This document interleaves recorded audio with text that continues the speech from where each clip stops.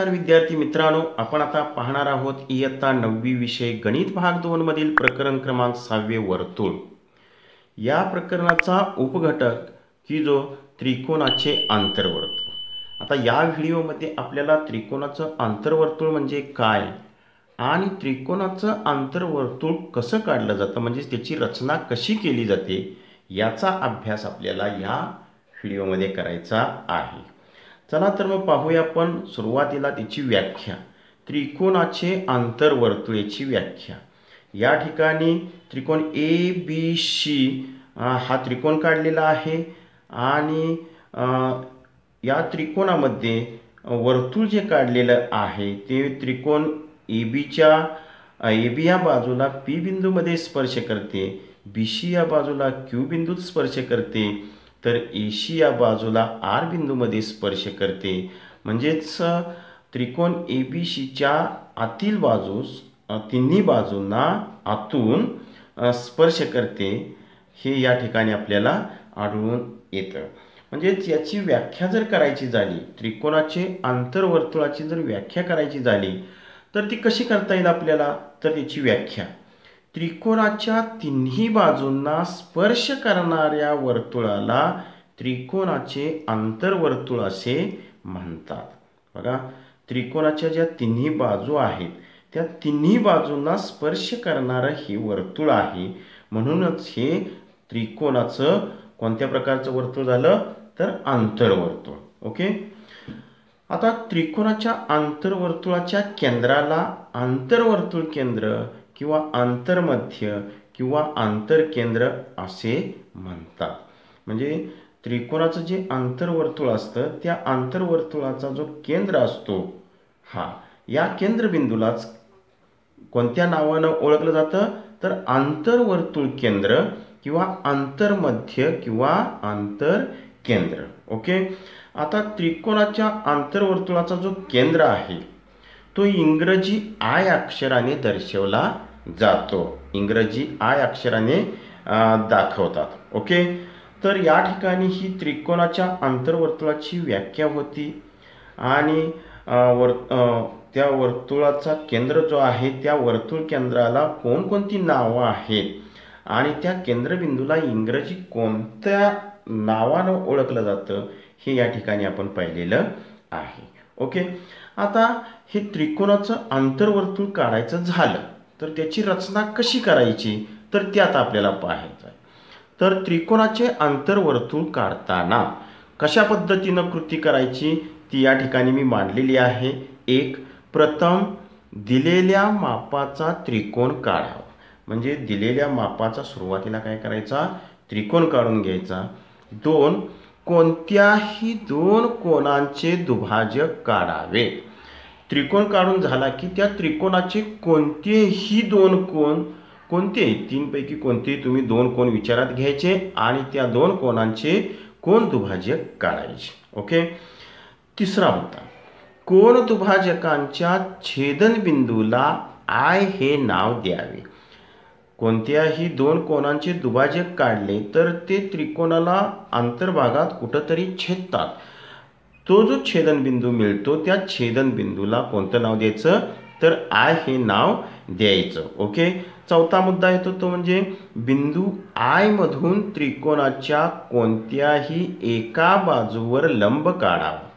जो आपल्याला छेदनबिंदू आय मिळतो त्या आय बिंदूतून त्रिकोणाच्या तीन बाजूपैकी कोणत्याही एका बाजूवरती त्या बिंदूतनं जाणारा लंब काढून घ्यायचा. बिंदू आयपासून बाजूवरील छेदनबिंदूपर्यंतचे अंतर कंपासात घ्यावे. हा आय बिंदू आणि इथून समजा इथं लंब काढला तो क्यू बिंदूमध्ये या ठिकाणी या बाजूला छेदतो. म्हणजे आय क्यू इथून इथपर्यंतचं अंतर काय करायचं? पुन्हा कंपासामध्ये घ्यायचं.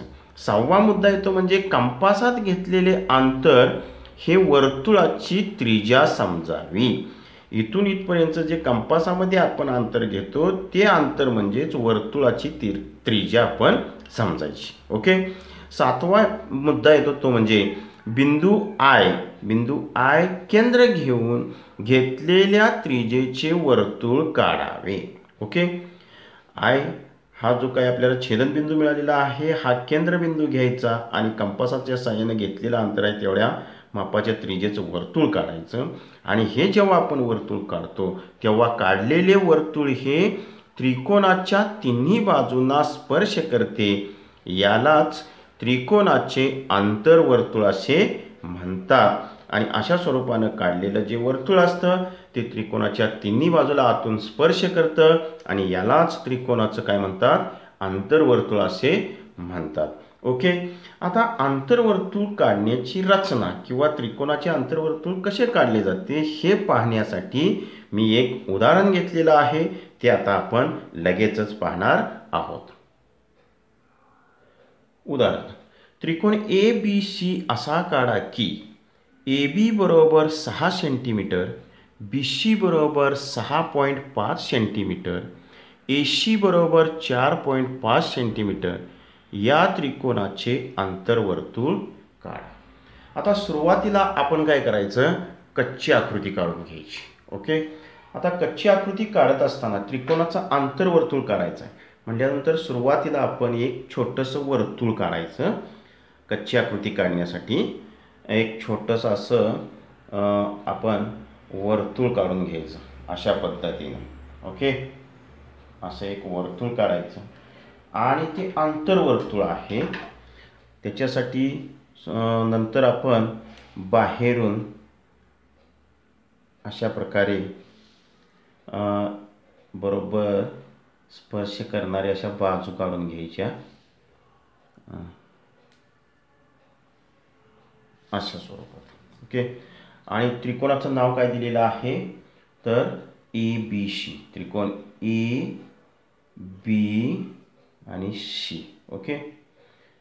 अशा स्वरूपाने आपण या ठिकाणी अशी आकृती कच्ची काढायची आणि कोण दुभाजक काढायची?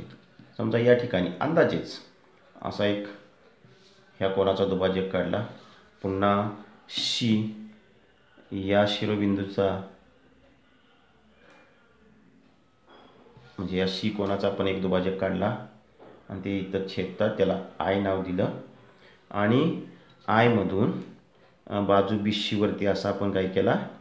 लंब काढून घेतला. ओके याला मी यम नाव देतो. ही? झाली आपली कसली आकृती? कच्ची आकृती. कच्ची आकृती. कच्ची आकृती. आता आपण काय करायची? विचारलेली पक्की आकृती करेक्ट मापाची आता आपल्याला आकृती काढायची आहे. त्यासाठी आता. बिशी पायाकडून सुरुवात करूया. बिशी किती दिला आहे आपल्याला? सहा पॉईंट पाच सेंटीमीटर लांबीचा पाया दिलेला आहे. बरोबर? पट्टीच्या साह्यानं आपण सहा पॉईंट पाच सेंटीमीटर बघा. सहा पॉईंट किती? पाच सेंटीमीटर लांबीचा असा बरोबर रेषाखंड काढून घ्यायचा. त्या रेषाखंडाला काय नाव आहे? बिशी हे द्यायचं. आणि सहा पॉईंट पाच सेंटीमीटर हे अंतर लिहायचं. त्याच्यानंतर आता आता आपल्याला बाजू ए बीचं अंतर दिलेलं आहे. किती दिलेलं आहे? सहा सेंटीमीटर. बरोबर पट्टीच्या साह्यानं कंपासामध्ये आपण सहा सेंटीमीटर एवढं अंतर कंपासात घ्यायचं. अशा पद्धतीने. ओके? सहा सेंटीमीटर अंतर कंपासात घ्यायचं. ते ए बी बाजूचं आहे. म्हटल्यानंतर त्यापैकी आपल्याला माहीत असणारा बी बिंदू आहे. त्या बी बिंदूवरती कंपासाचा अंकुचीदार टोक ठेवायचं आणि वरच्या दिशेनं अशा प्रकारे एक फेंट असा कौस काढून घ्यायचा. त्याच्यानंतर काय करायचं आता? राहिली एशी बाजू. एशी किती बाजू दिली आपल्याला? चार पॉईंट पाच सेंटीमीटर एवढं पुन्हा अंतर काय करायचं? कंपासामध्ये पट्टीच्या साह्यानं घ्यायचं. चार पॉईंट पाच सेंटीमीटर. चार पॉईंट किती? पाच सेंटीमीटर. एवढं अंतर घ्यायचं. पुन्हा माहीत असणारा शी बिंदू आहे. त्या शी बिंदूवरती कंपासाचं अणकुचीदार टोक ठेवायचं आणि अगोदर काढलेला कौस आहे त्याला छेदेल असा एक फेंट कौस काढून घ्यायचा. या ठिकाणी आपल्याला हा छेदनबिंदू मिळतो. तो छेदनबिंदू म्हणजेच कोणता बिंदू? तर ए बिंदू. त्याला ए नाव द्यायचं. पट्टीच्या साह्यानं पुन्हा ए आणि शी बिंदू. ए आणि शी बिंदू काय करायचे? पट्टीच्या साह्यानं जोडून घ्यायचे. ओके? त्याच्यानंतर ए आणि बी बिंदू. हे सुद्धा दोन्ही बिंदू पट्टीच्या साह्यानं काय करायचे? जोडून घ्यायचे. अशा प्रकारे. हे जोडल्यानंतर ए बीचं अंतर किती होतं? सहा सेंटीमीटर. ते लिहायचं. सहा सेंटीमीटर. एशी चार पॉईंट पाच सेंटीमीटर म्हणजे आपल्याला या ठिकाणी तीन बाजू दिलेला त्रिकोण ए बी शी काढायचा होता तो या ठिकाणी काढलेला आहे. म्हणजे सुरुवातीला ही रचना करत असताना काय प्रथम दिलेल्या मापाचा त्रिकोण काढावा तो आपण या ठिकाणी काढलेला आहे.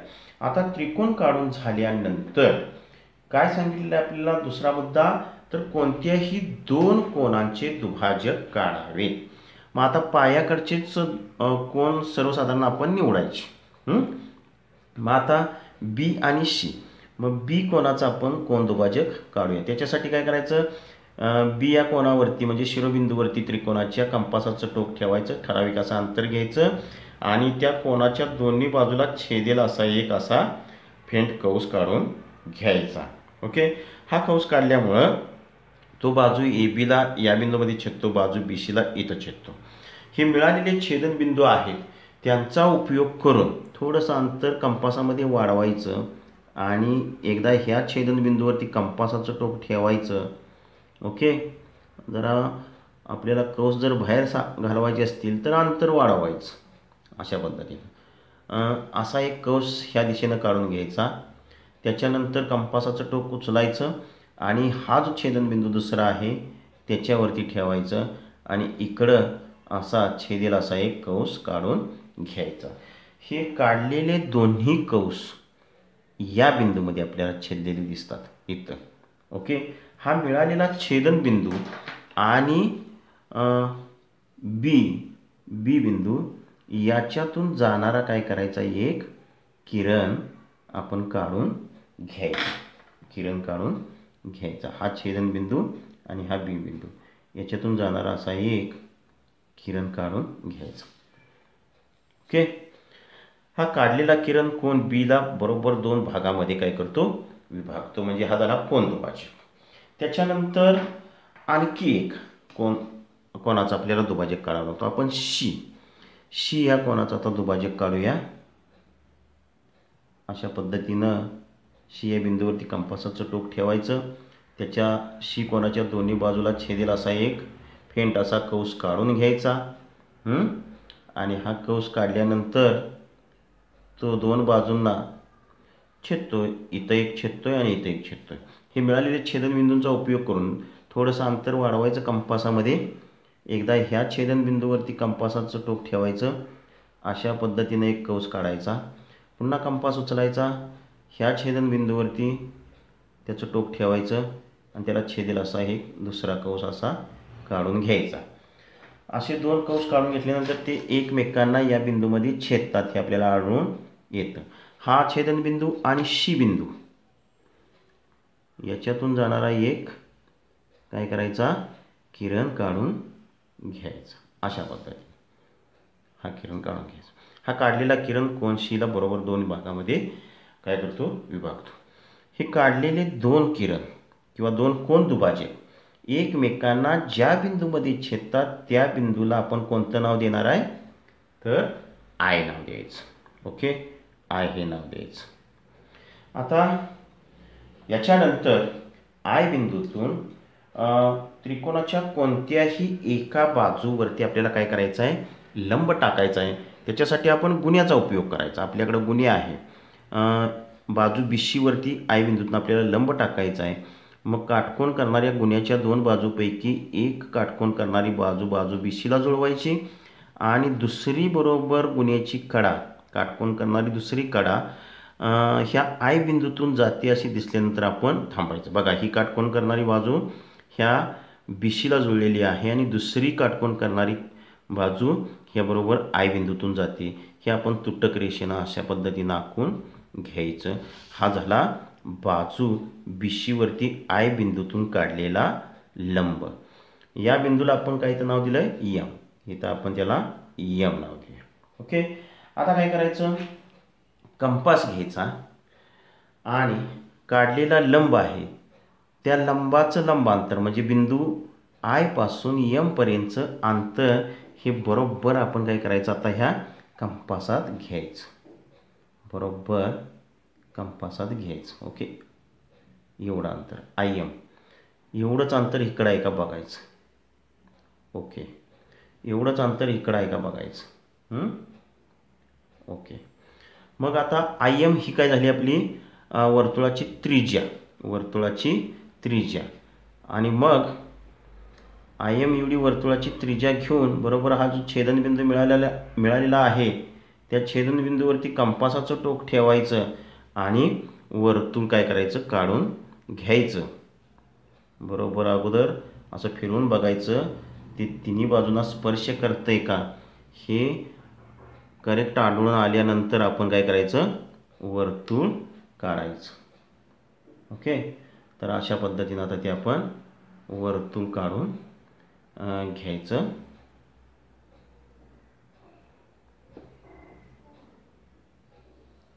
अशा स्वरूपात ते वर्तुळ आपल्याला मिळतं. आणि ते बरोबर तिन्ही बाजूनं काय करतं? आतून स्पर्श करतं. हे झालं त्रिकोणाचं अंतर वर्तुळ. ओके? तर अशा पद्धतीनं त्रिकोणाचं आंतरवर्तुळ काढण्याची आपल्याला रचना करावी लागते. सुरुवातीला दिलेल्या मापाचा त्रिकोण काढून घ्यायचा. पुन्हा कोणत्याही दोन कोणांचे दुभाजक काढायचे. ते दुभाजक अगदी करेक्ट काढायचे. शार्प पेन्सिलचं टोक असावं लागतं आणि मगच ती आकृती करेक्ट येते. आणि काढलेले कोण दुभाजक? एकमेकांना ज्या बिंदूमध्ये छेदतात त्या बिंदूला आय नाव द्यायचं. आणि आयमधून पुन्हा आय ह्या बिंदूतून त्रिकोणाच्या कोणत्याही एका बाजूवरती लंब काढून घ्यायचा आहे.